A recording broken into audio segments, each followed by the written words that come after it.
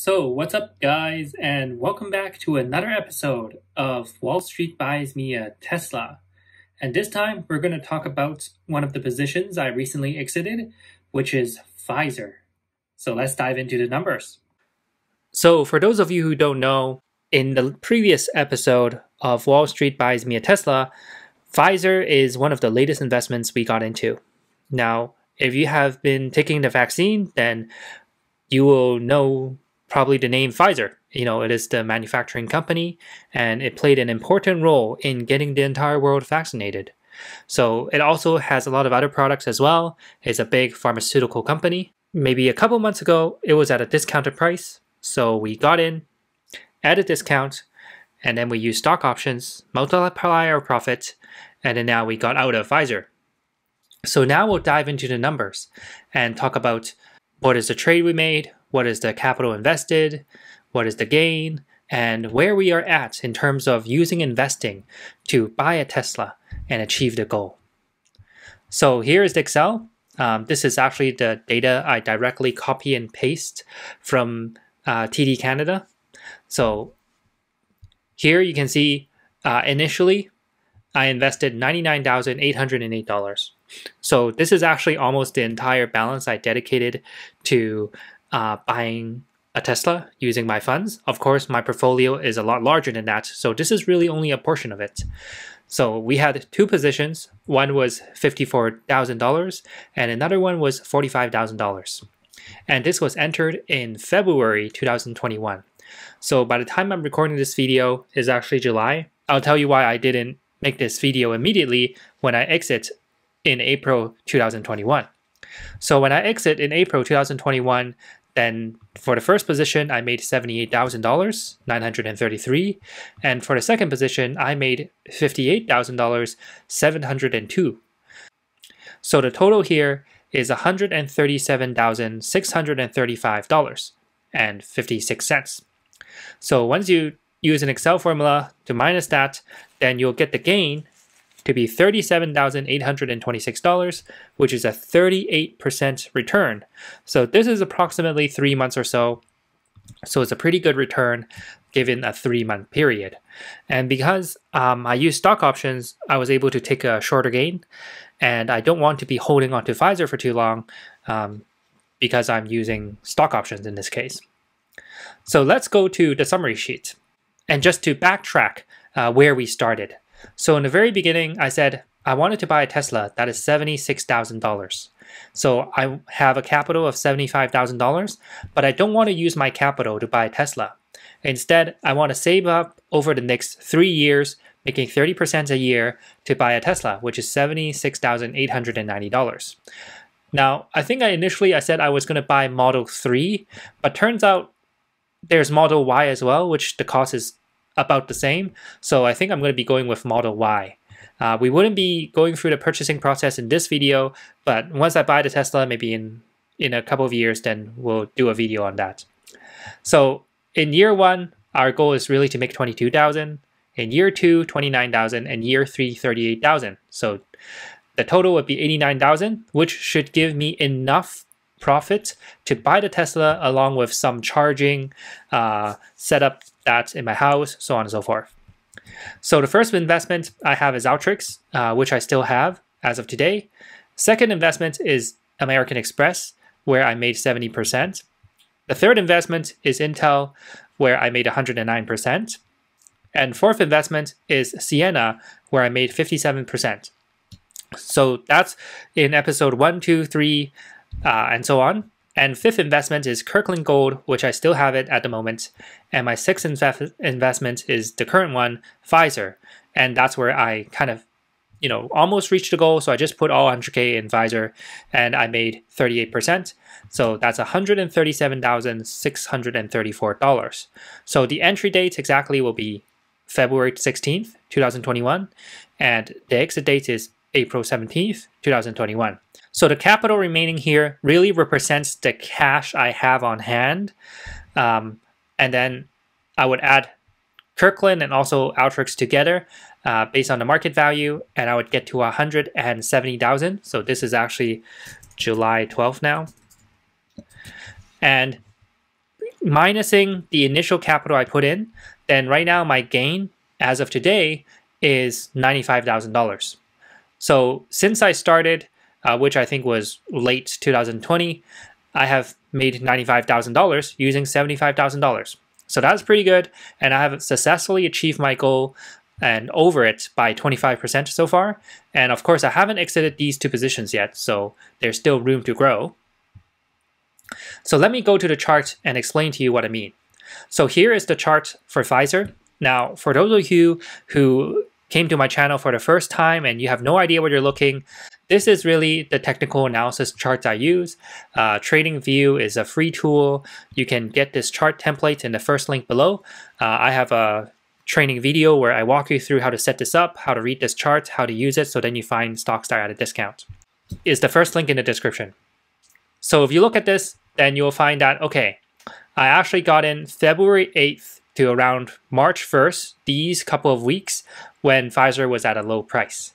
So you can see that I got in around 34 to uh, 34.37 to 34.67. Uh, so this is the stock price, but in this case I use options, which is an advanced technique. Uh, I teach an investing accelerator, which allows me to multiply my profit. So the easiest way to think about that is that it allows you to multiply your profits. So after that, Pfizer continues to go up. And this is when uh, Pfizer is rolling out the vaccine, so it's getting a lot of attention and also attracting a lot of investors to put money into it. So to be honest, this actually happened a lot faster than I thought. My original plan was to hold on to Pfizer for a year, uh, but of course, uh, the vaccine was a crucial factor in terms of opening the economy. So all the governments around the world are basically buying vaccines from Pfizer, which led to a lot of good news, which led to the stock price increasing. So now uh, at $37.56, which is April and so on, I exited my position here, here, and also here. So I actually exited over multiple stages and you can see that after I exited for the last couple of weeks it has been kind of horizontal and not doing much. Uh, so I think I made quite a good gain uh, from this exit. So that's how you would look at it from a technical perspective. Now when you're looking at Pfizer well the question is probably well do you think it will continue to go up? Well I think the answer is looking at what kind of company Pfizer is it will likely be going up uh, but in my case, I have already reached my 38% goal, uh, which exceeded the goal for buying a Tesla. So I'm pretty happy with it. Uh, so I just took the profit and I invested it in another stock. Uh, so as of this point, I previously said that I have 139,000 of cash remaining. That was in the Tesla fund. Uh, but after this, I actually allocated it to an another couple of holdings. So at that point, I would consider this project of investing 75,000 to make 60 uh, 76,000 for a Tesla is complete. So I don't need to invest based on this reason anymore. So I'm just investing regularly, which is actually the same way as I normally invest. So that's how uh, I entered and exited Pfizer, which is my latest investment. So in terms of Tesla, uh, here is really the exciting part. Now, I'm not going to be buying the Tesla today on this video. I'll probably make another video on it because I'm not personally ready to buy a Tesla yet, uh, but I have the money uh, for it. And I'm going to talk about the plan in terms of financing and, and what kind of Tesla I'm going to choose, so on and so forth. So then you have an idea of how I buy a Tesla and how I delay the payment as much as possible. So first, I actually looked up the price for a Model S, 3, X, and Y which smells sexy. And I actually like SUV more, uh, so I chose Model Y. So here you can see this is like a mid-size SUV, which is what I'm looking for. Uh, so I think in the very beginning, I said I wanted Model, Model 3 because it fits within my budget. But I think turns out Model Y should be around the same, so we'll explore that together. So I click order now. I'm thinking of something like a black Tesla. Uh, it actually remembered all the features I chose. Black rims, why not? And I want to choose long range. Uh, so in case, you know, I need to go somewhere really far. So choose that. I choose black, black wheels. Uh, don't know what that is, skip. And I choose a white layout to contrast the black exterior. And I choose a seven seater. I mean, I could have chosen a five seater, but why not? And then full self-driving capability, I want to include that as well because that is basically the only reason why I'm buying a Tesla is to try this out. And if I go down, then I would continue to payments. So the good thing about Model Y is that the estimated delivery is October, and I'm not in a rush to buy Tesla anyways, so and I wouldn't be purchasing it uh, immediately, so it's fine. So here you can see that is $89,790. So this is actually a little bit out of my budget, but I have made enough gains to pay for this thing. So I think when I'm looking at the different ways to finance it, one of the other options is actually a loan. So I think if I choose lease, then I can pay a lower monthly amount, but then there's probably an amount I need to pay in the end. If it is a loan, then this is 96 months, 3% APR. This is 48 months. So if I need to choose, then I would probably choose 96 months because the number of months is higher and the APR seems relatively reasonable. Yeah, so I will probably choose a loan, uh, which means I would be paying 964 a month. So what this means is, even though as of today, I have already made $95,735, I'm going to take this gain reinvest in my portfolio regularly. Uh, and when you ask me, I'm actually not doing any difference. This is what I would do for my own portfolio, anyways.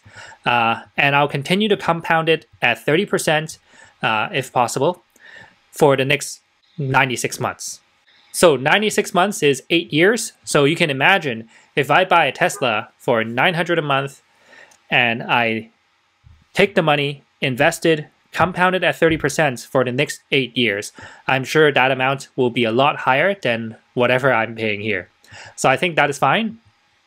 Uh, let's see if I can customize payment. So APR is 3%. This is actually surprisingly low for a loan. Usually when I think about it, you know, typical lease is like 7% to 9%. Uh, and this is actually the longest loan, so that's actually not bad. If I choose 84 months, hey, the APR actually remains the same. So in this case, APR is actually lower at 60 months, but it is still better to delay the payments and pay a slightly high APR in this case. So I would choose 96 months, so I would pay it over a long period of time, and this gives me the maximum amount of time to invest and reinvest. So I think that is pretty good, um, and that's probably my plan. So that's probably what I'm going to do. But right now, I'm working on a couple of other projects. Uh, and so on. So I wouldn't be buying a Tesla at the moment. I have the cash. I have achieved it using investing. Uh, so I would save on that cash, reinvest it for now, and when I decide to start getting the Tesla, well, which you can see is very sexy, let's just enjoy this for a minute. Um, then I would just uh, buy it on the website. So the next video for this series would be me sitting in a Tesla, hopefully, and explaining to me, uh, explaining to you how awesome it is. And when I think about this $964 and looking at the gas price in BC right now, um, I think it's actually worth the saving. So I go to the gas station maybe once every week or once every two weeks and every time I spend around 100 bucks there just to get gas. So my gas expense is 200 bucks to 400 bucks a month. Um, surprisingly, it is quite high given that I mainly work from home. Uh, so I just use the car for leisure purposes. So if you think about the, the gas I save per month, then it would be only $564. And if I figure out a way to deduct this expense through smart accounting uh, or, or, or if this car is for business purposes then you know we'll work that out. And perhaps there's potential savings where I can basically save more money. Uh, but nevertheless I wouldn't be buying it right now even though I have the capability to uh, and I would just wait a little bit longer. So this is really where the delay gratification part comes in. Um, I really wanted to buy it I mean I can click the button and buy it but I will have the self control and invest and reinvest my portfolio uh, maybe for one to two more years before I get there. So by then, I might have a lot more capital in terms of my portfolio. Uh, I might be able to afford the Model X uh, by then, but I think Model Y already has everything I need, which is kind of an SUV, dual motor, self driving. Yeah, I'm pretty happy with it. So, yeah, that's my investing journey to get a Tesla. So, maybe let me know what's a good next goal. Maybe I'll just buy a house. Um, Wall Street buys me a house as a next series. So, we'll see how that goes. And I'll see you in the next video.